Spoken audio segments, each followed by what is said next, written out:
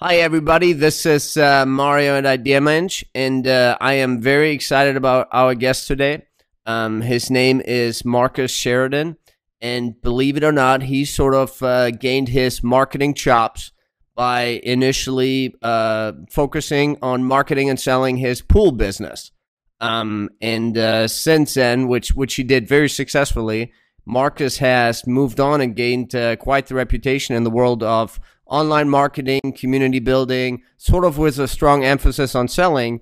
And you might know him as the uh, sales lion, I believe. Um, so, so Marcus, super jazzed to have you here on IdeaMensch.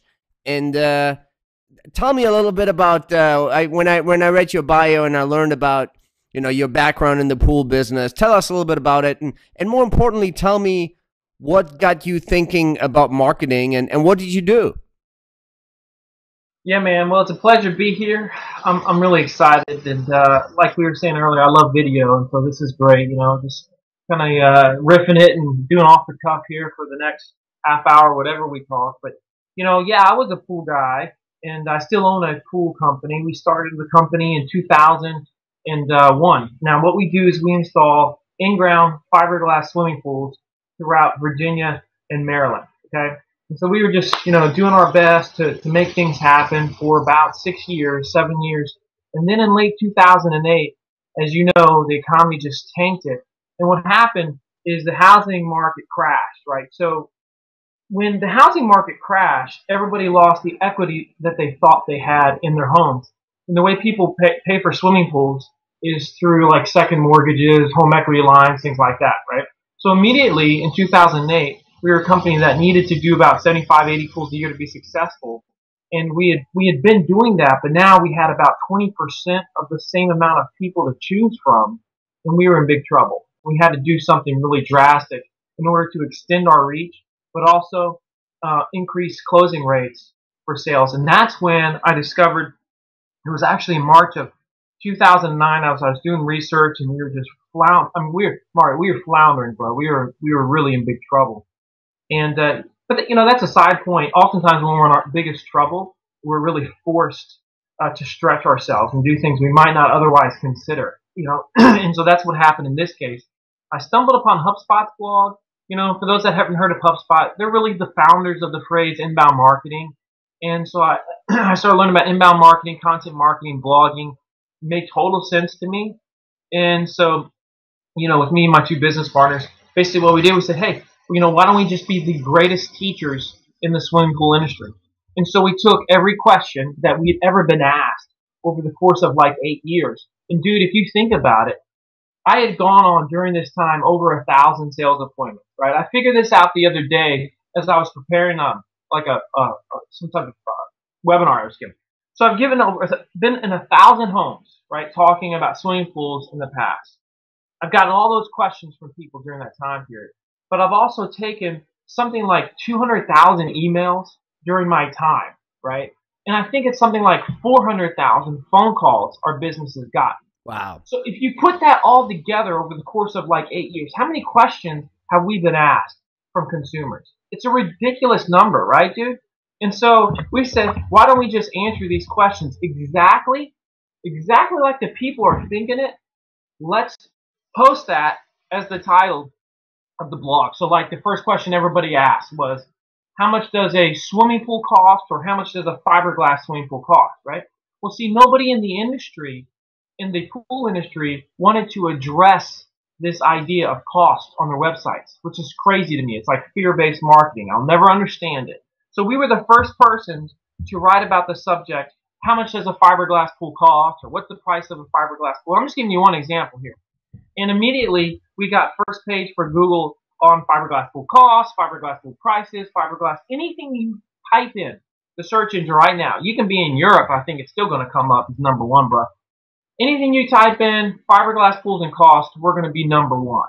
And the reason is because we were not afraid to address questions that everybody was asking. And so after the first six months, we really started to see a major tick in the traffic and when within the first year it exploded into to where it is today, which is the most popular swimming pool website in the world in terms of in terms of traffic.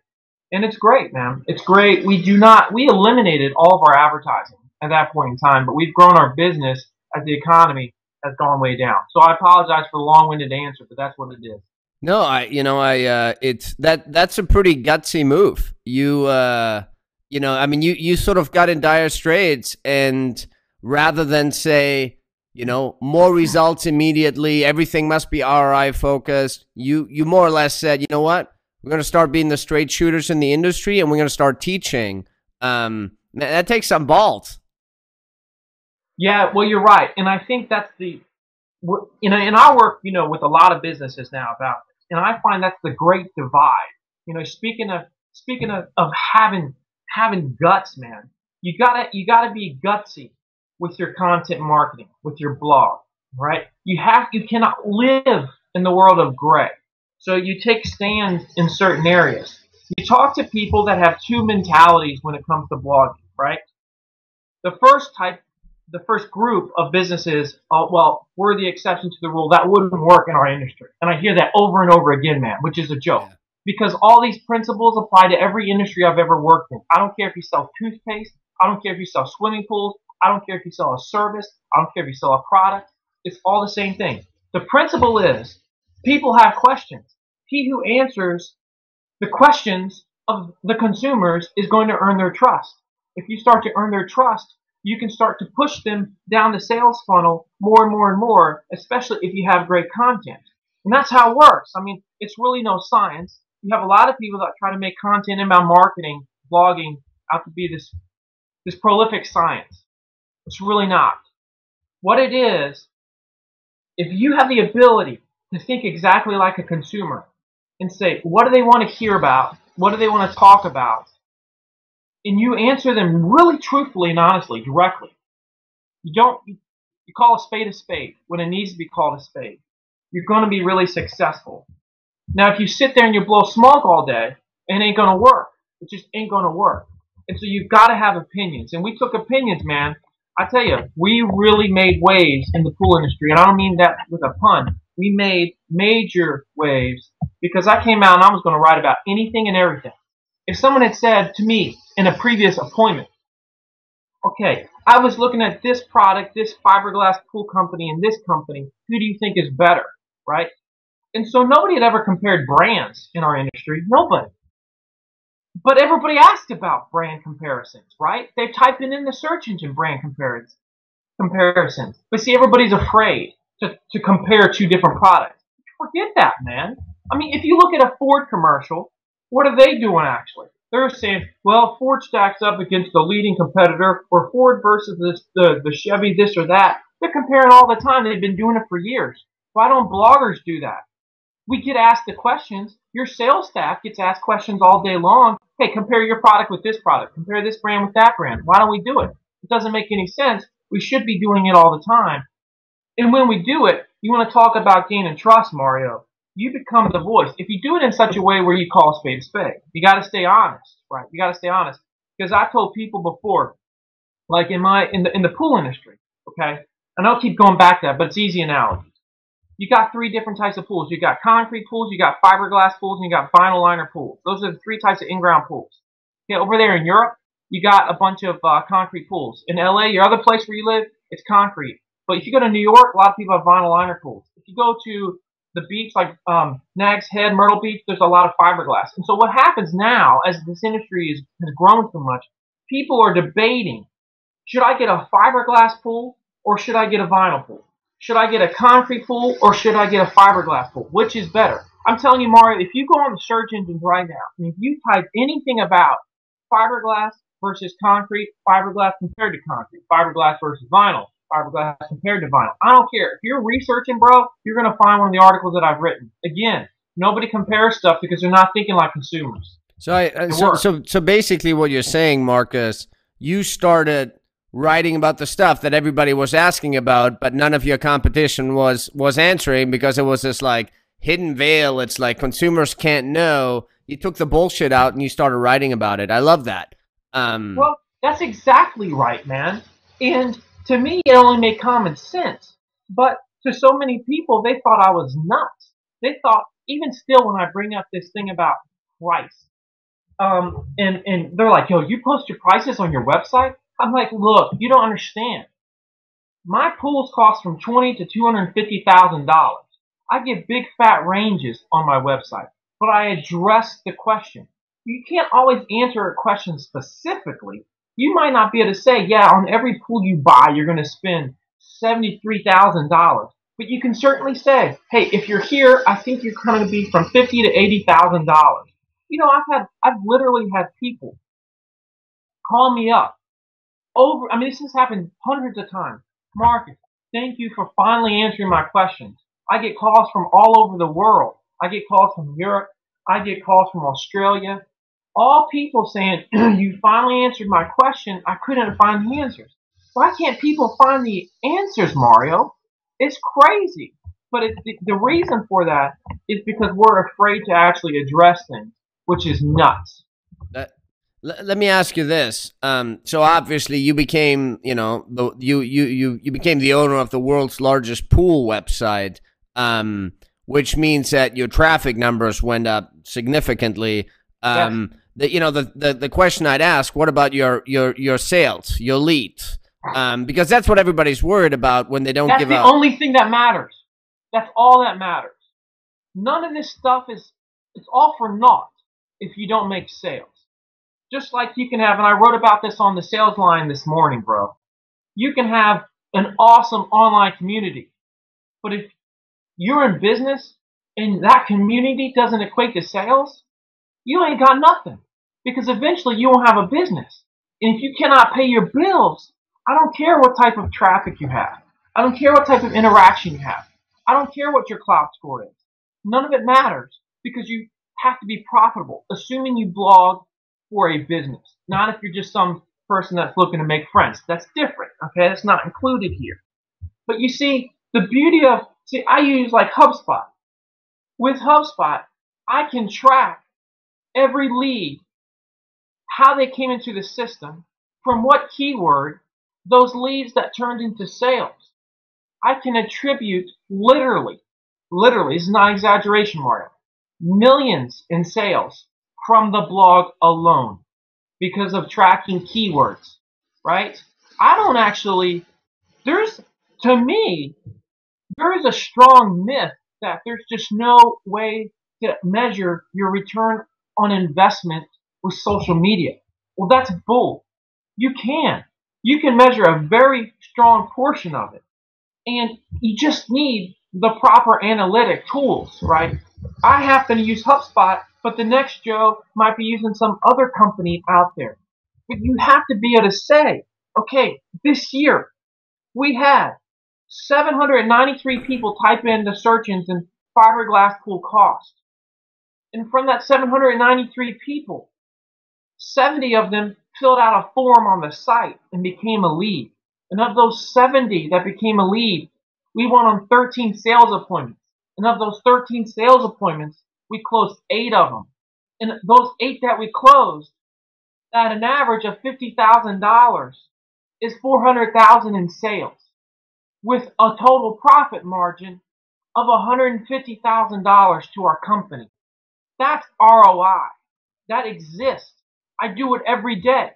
So when people say to me, "Oh, so you spend um, on your on your analytics platform, you spend five thousand or ten thousand a year. Isn't that expensive?" I laugh, dude.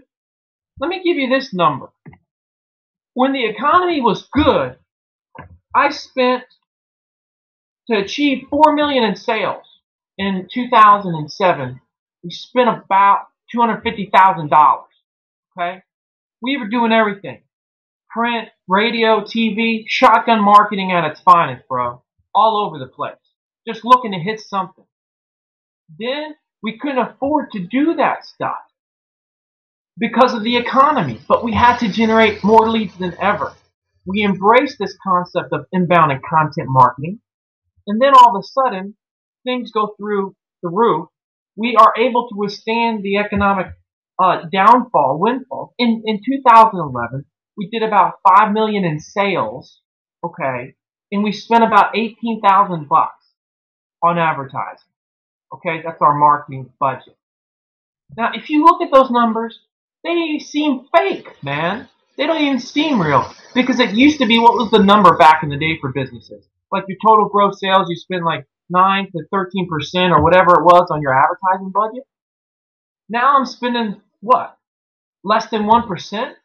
You know what I'm saying? Less than 1%. And that's possible if you do things right online. But you got to do them right. I mean, it's, not everybody's doing it. I mean, there's plenty of people that are blogging, and I mean, they're just doing it wrong, man. They're doing it wrong, and they're not seeing return on investment. They're like, what am I doing wrong? I mean, I get the emails all day long, but that's my goal, of course. I'm trying to educate everybody to this. So b- before I, I talk about sort of your new, or before you talk about uh, um, your new quest of educating people in marketing, did did your competition ever follow suit? Did they? Dude, this is what's so crazy. I have taught, I mean, literally, for four straight years. I have taught the national swimming pool, um, at the National Swimming Pool Conference. I teach to my local competitors everything I've done online. I have a huge amount of subscribers in the pool industry to the Sales Lion where I tell every secret that I've ever done in terms of my marketing. And do you know, I figured out recently, I've probably taught somewhere around a thousand swimming pool companies exactly what I have done to achieve success. And I've seen somewhere between 10 to 15 actually do it kind of well. 10 to 15 out of that thousand.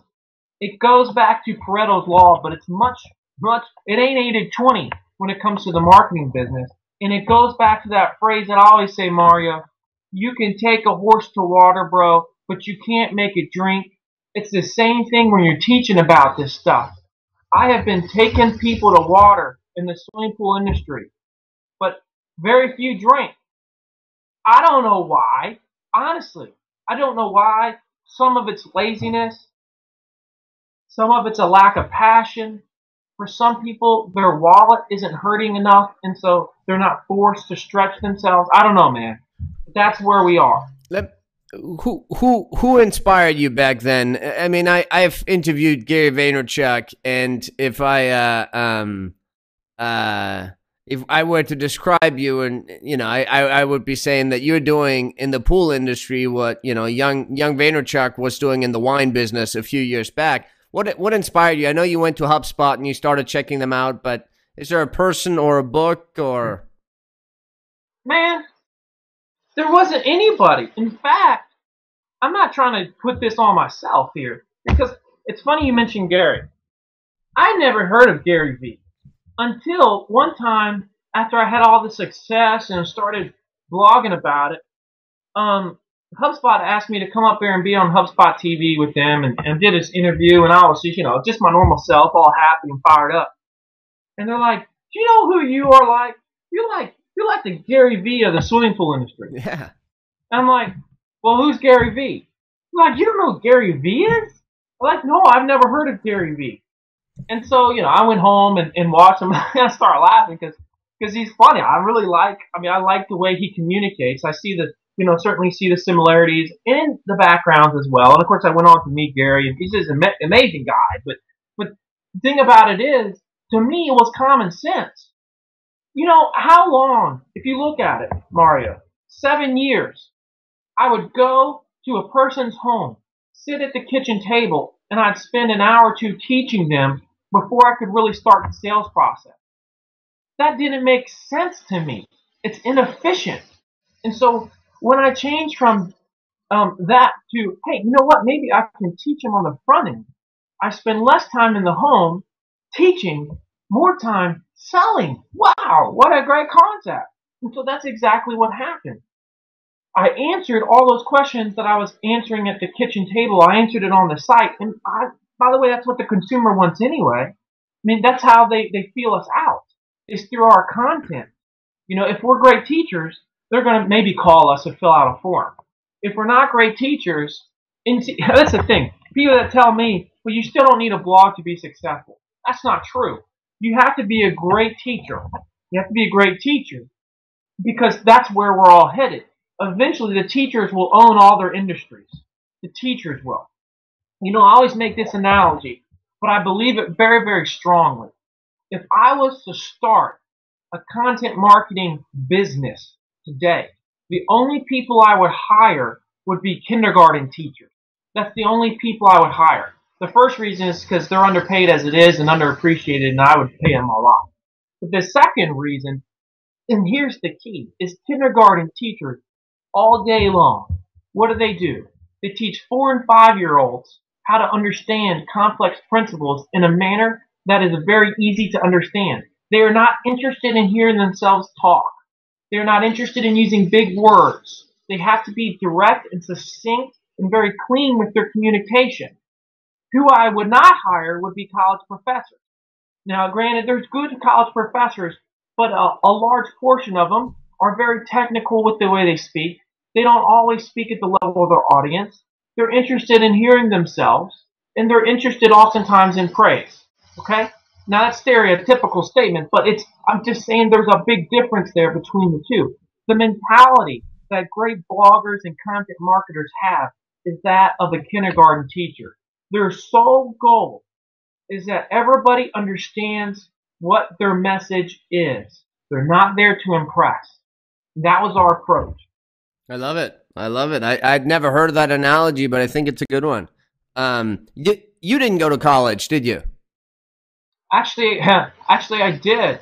I went to. Um, speaking of teaching, I'm a huge sports guy. I went to West Virginia University because I got bad grades in high school, and I didn't have to have good grades to go to WVU.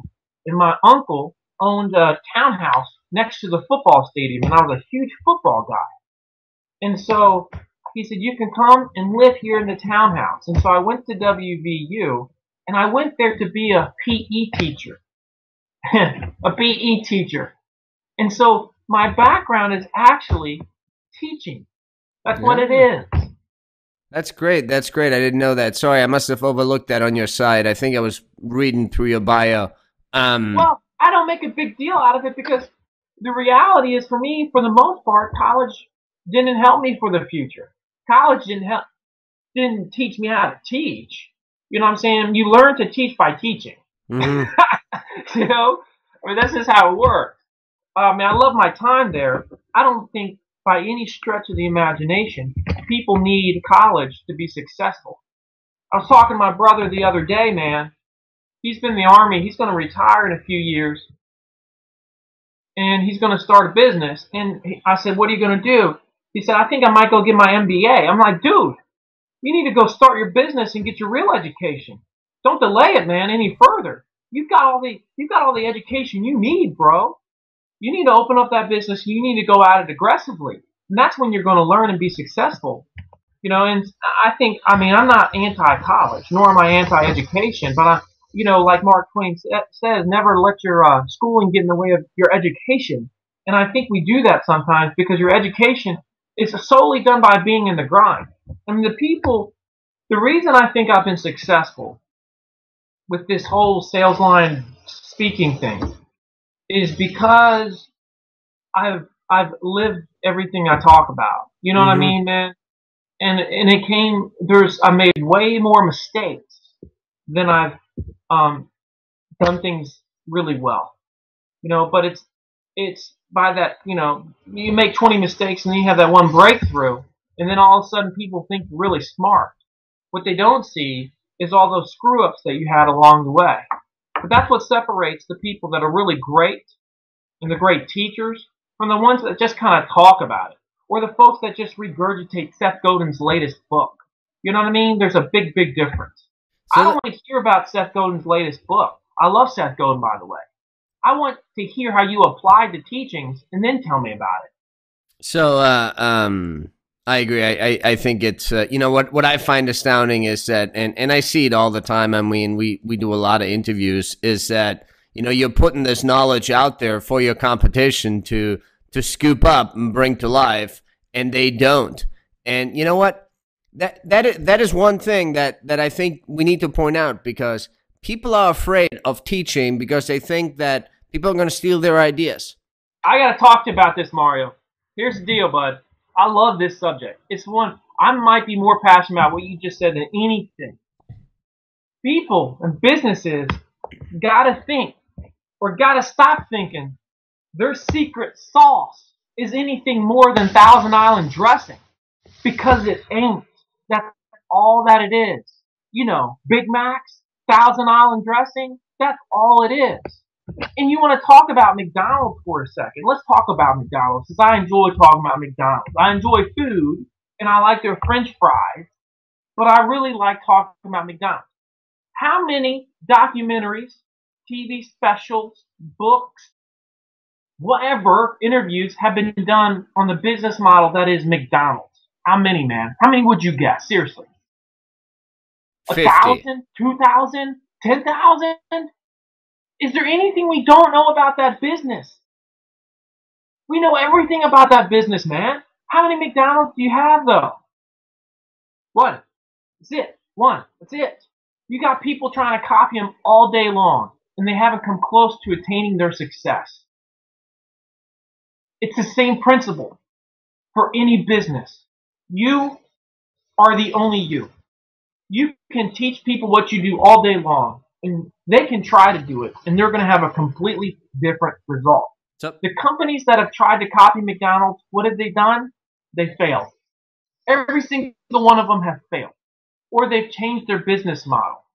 Wendy's recently came out with a new campaign because now they're trying to be more like a higher end burger joint. Why? Because McDonald's was killing them and they couldn't make a profit. So they got to be their own person. Well, look at that. They've got to have their own identity. That's how we all are. So this concept of people are going to steal your secret sauce, that in your secret sauce is so secret, it really doesn't exist. It doesn't exist. It's just Thousand Island, and everybody knows it. so let let me let me just and, and then and then we're gonna move on and we're gonna cover one more topic. Um, but let me so let me just go back when you when you started doing more and more inbound marketing. You you set up a blog on your pool site. Is that where you posted? I want to get real specific for for Yeah. for our audience. You have to, and people still ask me about this. You gotta look at a blog. All it is, it's an extension of your website. That's, that's all it is. It's a part of your website. You say a blog. It's really the same thing. Now, the blog is the zone, the area where you spend your time teaching people without pitching yourself all day long, in most cases. The rest of your website is where you brag about yourself if you want to, okay? And you still teach, but that's, if you want to brag, you do it on your website. How it works is they come into the top of the funnel with a great blog article. From there, they might fill out a call to action or they might continue to look at other pages. From there, they might look at your company about page and your services page and then set up the appointments, right? And that's coming down to the bottom of the funnel. That's how it works. But much of it starts with your blog because first thing is they want to know if you can answer their question. You have to set up the blog on your site and it's got to be readily accessible and available and visible to viewers and search engines. So so use your blog to post great teaching content. Use the rest of your site. That's where you put your your sales messaging on. But but you know what? I think you bring up a really important point because I see too many companies and entrepreneurs set up blogs and then they do this bullshit promotional content on their blogs and they wonder why nobody reads them. So I love I, Dude. lo- I, I love how you're saying, hey, split it up, put on your blog, that's where you teach. On the rest of your site, that's where you position yourself, that's where you sell yourself. Yeah, you know, I mean, rarely ever do I talk about river pools on my blog. I mean, I might say, I met with a customer recently, and this is what happened, and they asked me this question, and this was the answer. But for the most part, it's certainly not about river pools. It's definitely not about specials and, and stuff like that. Yeah, you can go ahead and put a call to action at the end of the post if you want. That doesn't ruin the whole thing. But as a whole, you want it to be very value driven in terms of the information that's on the blog. I see people all the time. They'll, eh, I mean, I consult with people and they come up with these decent titles, right? I get excited about them, and then I read the first draft and I'm like, dude, all you did was pitch yourself. I don't care about you. You didn't answer the question. Now Mhm. write it again and answer the daggum question. Really give me a good answer. What else did you do? Did you get uh, um so you started blogging, you started writing, did you start getting I active did on video. I did video? a lot of video. Did you start getting active on on Twitter? I'd be curious. No, I didn't, and I never would, because because here's the thing: there's this myth that Twitter works for every industry. It it is not a strong focus. You see, look at the pool industry for a second. The pool industry is um for the for my business. Somebody buys a pool for me maybe once a lifetime. Lucky, lucky if it's twice, but it's probably just once a lifetime. Those people are not searching on Twitter for a swimming pool. I know, I know. Trust me, I've done the research. It's not prolific. You can you can type in fiberglass pools in Twitter, and the only people talking about fiberglass pools on Twitter are the companies that are might be blogging about them. Okay, so it's not prolific usage. And because these, I don't, I'm not a retail company, and so I'm not constantly having customers come back to me. Facebook doesn't work that well either. You see, every platform works better or worse depending on the industry and niche. Somebody once told me, he's like, I don't understand why you're not using Twitter better in the pool industry. I'm like, what are you silly, man? I can be the best in the world at content marketing and blogging, or I can sit there and try to be a jack of all trades and master of none. And that's what I see all the time. You got a bunch of people trying to open up a Twitter, a Facebook, a LinkedIn, a this and a that account and blog and do YouTube, and they end up being very average to less than average at all of them. Now, it's different though with each industry. With the with the Sales Lion, I'm talking about marketing, blogging, social media, all that stuff.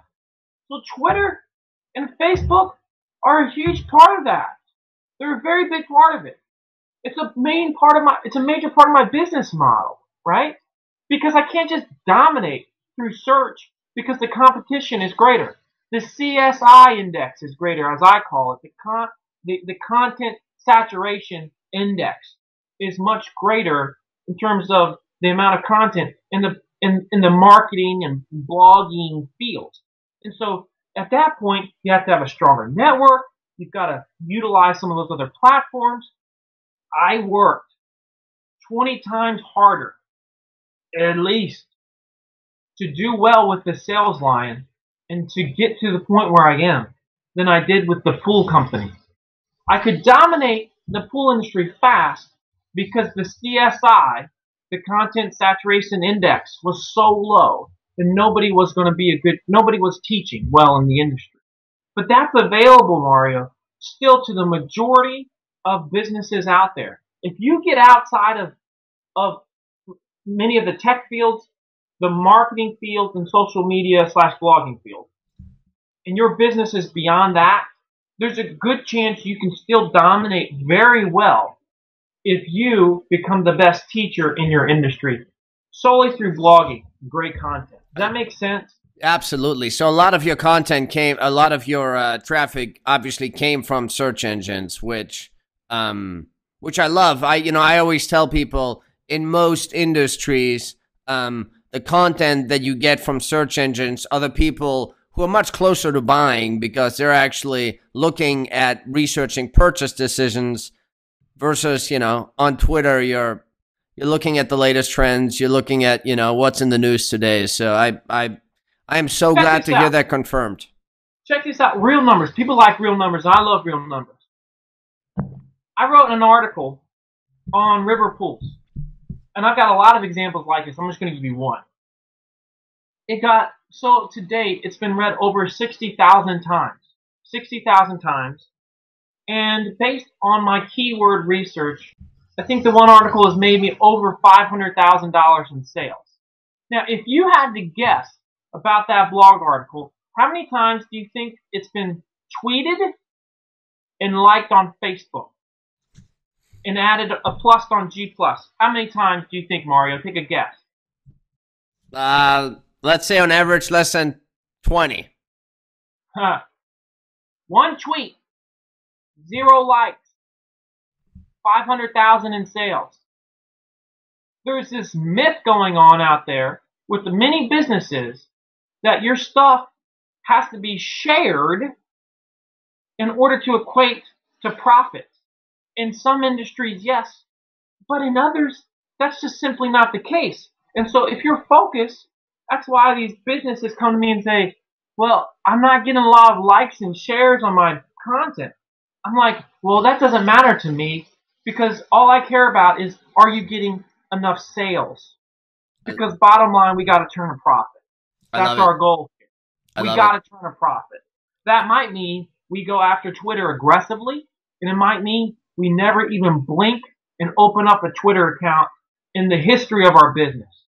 But what matters is that it works, whichever one we choose, and we turn a profit. I love it.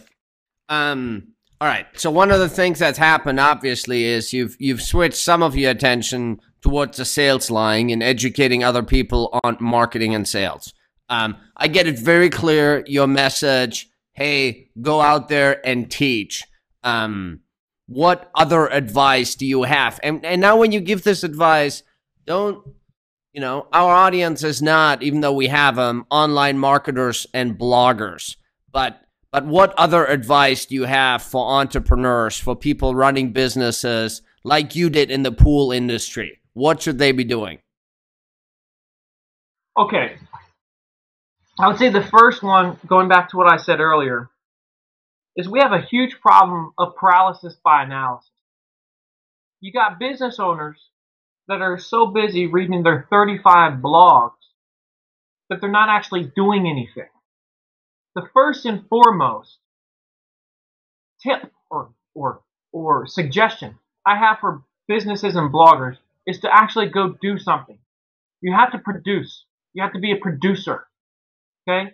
That means you go out and you write the article. You put your butt in a seat, you open your laptop and you start typing. Stop reading about it. Okay? Stop reading about it. Um, if you've had an inclination for a while that you need to do video, stop reading about how to make great videos and stop buying great equipment.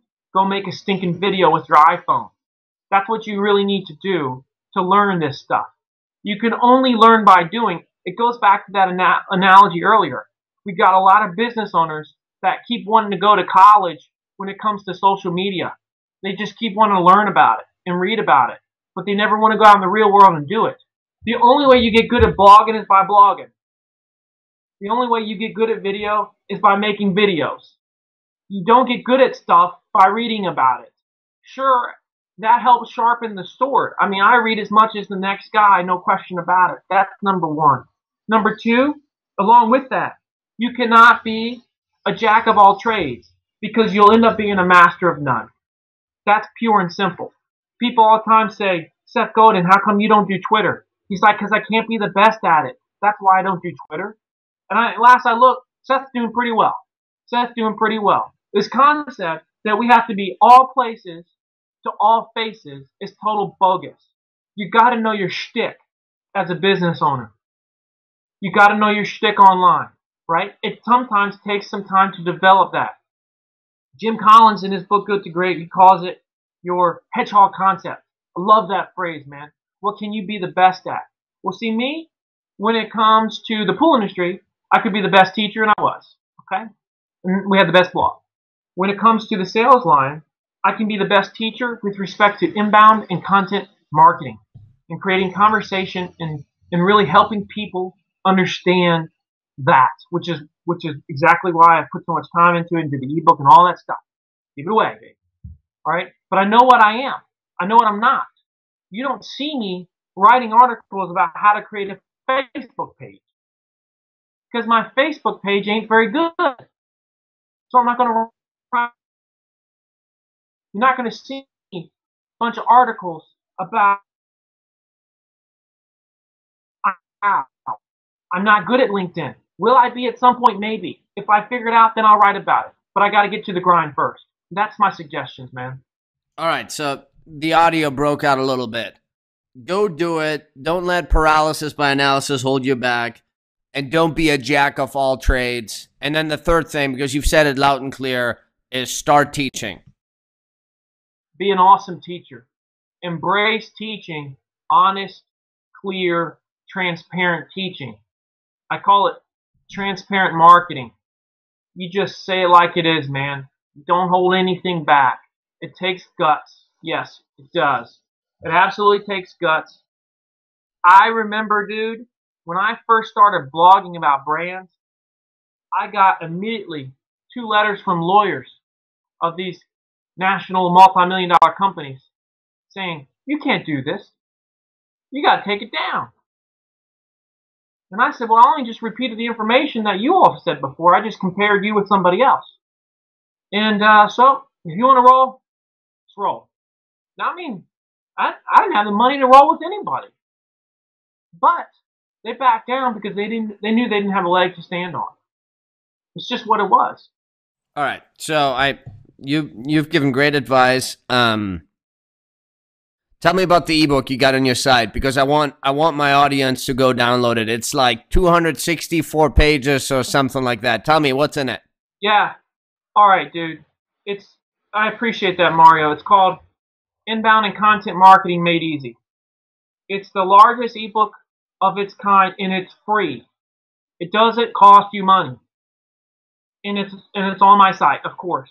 If you read this ebook, I'm telling you, you will really, you know, we've talked about this stuff today. This will go at another level. You have actionable stuff to apply to your business. All right. And I just really go out. I even talk about HubSpot, but I go all about how to start your blog, how to be great at blogging, brand yourself. And I talk about some other strategies I've done too. You know, talk about secret sauce. That's where I explain every ingredient, everything that I've ever done. And I did that as really um, it was so many people said, Marcus, dude, you you give this ebook away. Why are you not selling it? Well, they don't realize it's been downloaded thousands of times. And then I only produced that thing. It's a it's an anthology of the blog posts that I've written about inbound and content marketing over the course of two plus years. But now it's been downloaded thousands of times and shared, and people the, the amount of emails that that come in, Mario, are just just amazing. Talk about Europe. I got one this morning from a guy in Europe. You know, and that's what what really means the world to me is people are applying the principles and it's changing their life and it's helping them live in financial peace. Ultimately, that's the goal. I love it. So everybody go download that ebook. Um, Marcus's site is saleslion.com and and I'll tell you, I I mean I I am a little bit like you. I, uh, I, I read my fair share, but I don't read too much because you know somebody's got to do shit for IdeaMensch. Um, but uh, you've got some you've you've got some great stuff on there. Thank you so much for coming on the show tonight. You were amazingly honest. Like I took down my notes. I learned a lot. Um, I'm gonna let let's let, I'm gonna ask you one more question. What what's next for you this year? What what's on your on your plate? You want to do more speaking? You want to move, do more marketing teaching? Well, I have moved. Uh, my wonderful business owners have allowed me to, um, you know, spread my wings. I'll be speaking all over uh, North America this year. I might get a, get across the pond maybe. Speaking is what I really love doing, man. I mean, I like writing, but I love I love just getting with a group of people and having a conversation. I'll be speaking at both blog worlds. I'll be speaking at content marketing worlds. I'll be speaking, you know, at tons of events. I'll be speaking in Toronto a couple of times.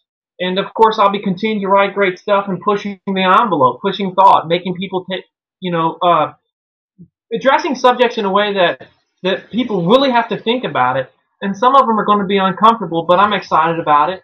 And, uh, anything I learn along the way, I'm going to share it, man. So I'm I'm excited about the future, and um, there's going to be a lot more. There's going to be a lot more. You you're going to do amazing things. I know that. So the, here's the thing: the next time you're in Los Angeles, shoot me an email, and uh, we have a good community out there. We'll get everyone together, and I I want people to uh, to know about you. You're doing great work, and uh, thank you very much for doing this interview, Marcus.